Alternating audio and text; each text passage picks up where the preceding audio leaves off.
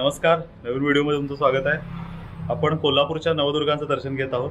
आतापर्यंत आपण सात देवींचं दर्शन घेतलं. पारंपरिक क्रमानुसार आठवी देवी गजेंद्र लक्ष्मीचं आज आपण दर्शन घेणार आहोत. हे गजेंद्र लक्ष्मीचं मंदिर कोल्हापुरातल्या ब्रह्मपुरी टेकडी या भागात आहे.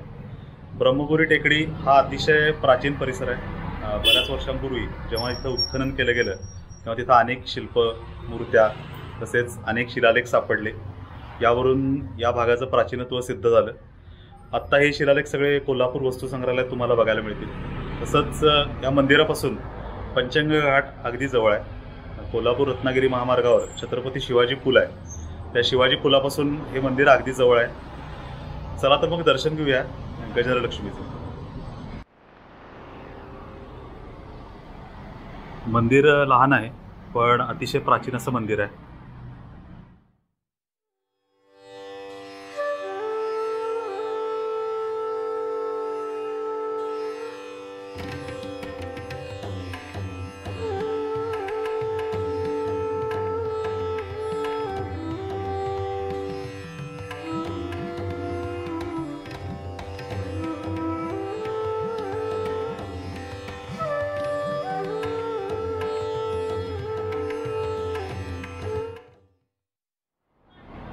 दर्शन घेतल्यानंतर आता मंदिराचा प्रदक्षिणा मार्ग बघूया.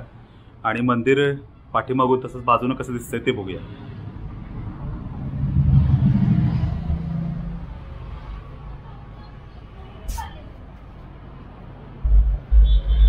बघा या बांधकामाच्या रचनेवरून हे मंदिर प्राचीन हे लगेच लक्षात येतं दगडी बांधकाम आहे. आता ह्याला रंग दिलेला आहे. पण जुनं बांधकाम आहे.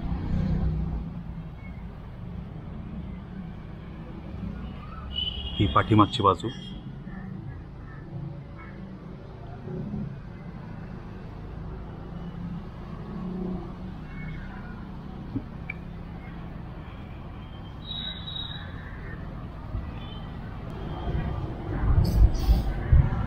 हे बघायचं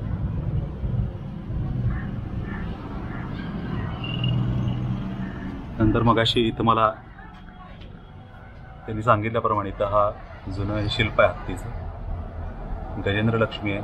त्यामुळे गजराजांचं चित्र आहेच दुसऱ्या बाजूला आहे पण ते पण आता थोडंसं पुसलं गेलेलं आहे. त्या बाजूला पण होतं असं समजलं.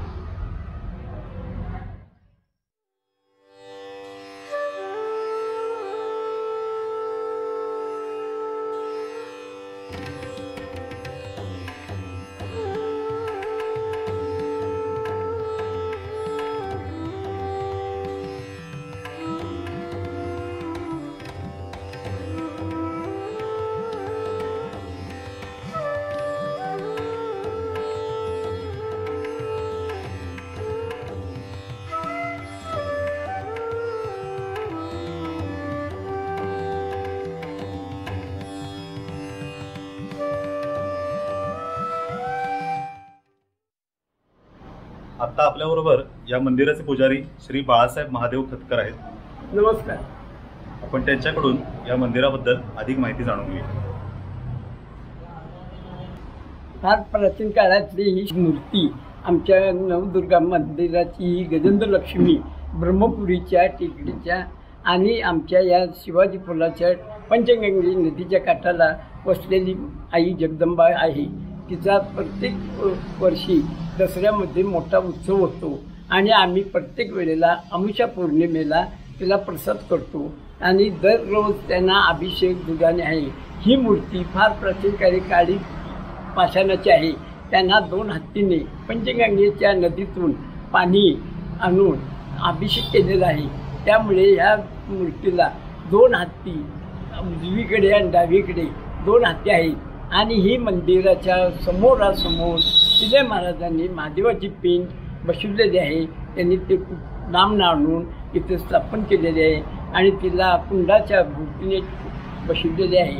आणि हे मंदिर फार वर्षापूर्वी जुनं आहे आणि ह्या मंदिराची सगळी देखभाल मी करत आहे. आणि आज या मंदिराचे सगळ्या जगामध्ये प्रचार होत चाललेला आहे. आणि नवदुर्गा मंदिर हे प्रसिद्ध होण्या झालेलं आहे. आणि न पर्यटन लोक आगे भक्त लोक दसऱ्यामध्ये भरपूर गर्दी करतात. इथली व्यवस्था पण सगळी मी चांगली केलेली आहे. हे मंदिर फार प्राचीन काळातलं मंदिर आहे. त्याचे बांधकाम बी फार प्रा जुन्या काळातले आहे. आणि ह्या मंदिराला तुम्ही अवश्य भेट द्या.